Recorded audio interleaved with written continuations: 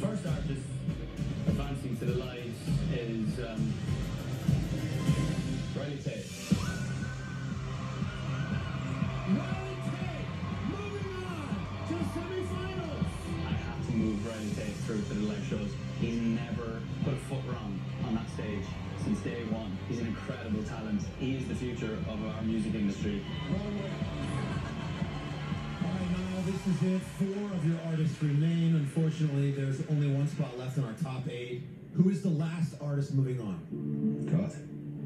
I just can't reiterate how hard this is enough. Um, I just have to go with gut. What I've seen through the weeks and what I've seen today. Second artist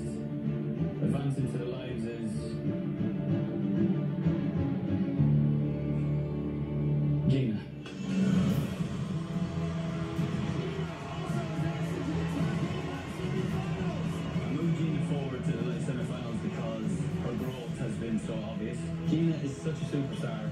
She smashed the playoffs. She's ready for the live shows and beyond. And She's going to have an amazing career. Thank you. Love you. I'm so excited. I'm so sorry. I now feel so confident about Team Niall. I've got two incredible young singers that are going to capture the hearts of the nation, and I believe that the winner of The Voice Season 23 is on my team. All right, top eight now locked next Monday.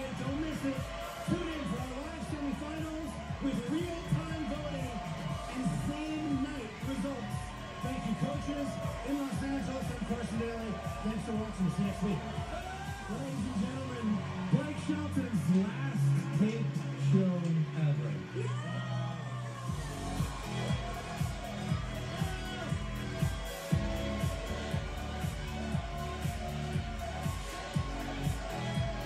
So from here, we're all going to the semifinals, and finally, we won't have to make these decisions anymore. But I think America's going to have just as much of a tough time as we did. This is an incredible group of singers.